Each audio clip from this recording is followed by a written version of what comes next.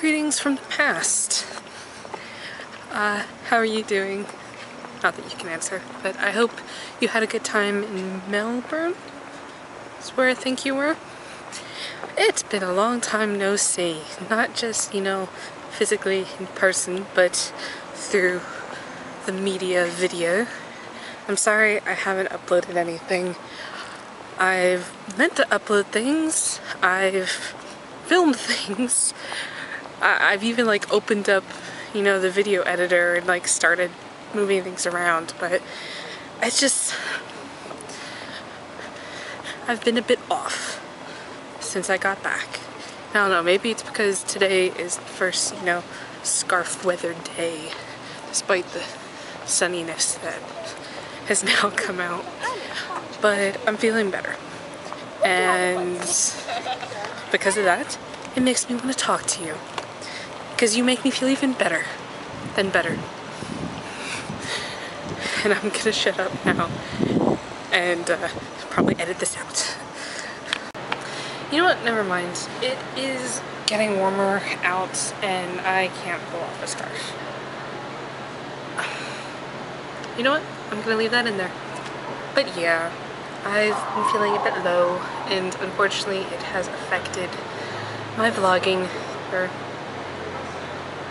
preventing any vlogging whatsoever. Because I have filmed things, you know, with the intention of uploading them. Talked about my classmates' view of how school was going so far.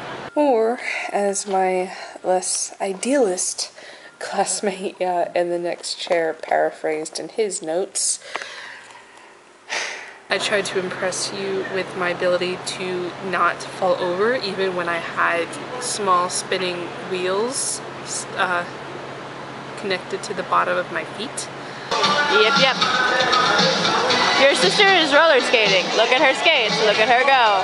Let's see if we can follow Sam the whole way around. No, I lost her. Curse you person in black sweatshirt. Actually, I even attempted to do a dancing video to try to raise your spirits. Didn't work out so well for mine. I think that my problem has been that I was pushing too hard to find meaning in everything I was doing. She says as she draws lofty conclusions from really simple situations. I was trying to twist even silly footage to create a kind of thoughts from places scenario. My friend told me that he'd send me information on that. I'm trying to channel John Green. But, you know, now that the sun's come out, or at least I've lifted my head from behind my pile of literature textbooks,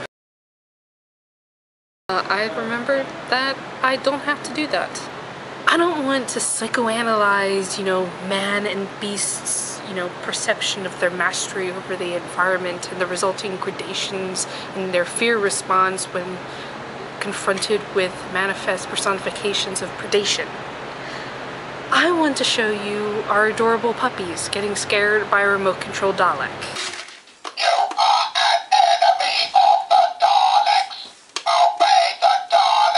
Basically, I'm going to give myself permission to post things even if they're not profound and even if the only person who will find them interesting is you.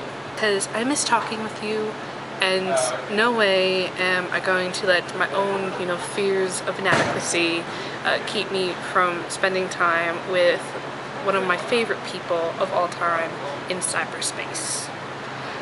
You're awesome, Bridge, and I look forward to talking with you more. All my love to days to come. Be well.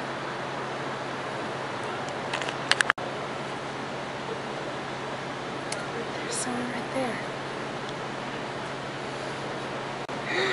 Okay. You know what? I might just leave that in there.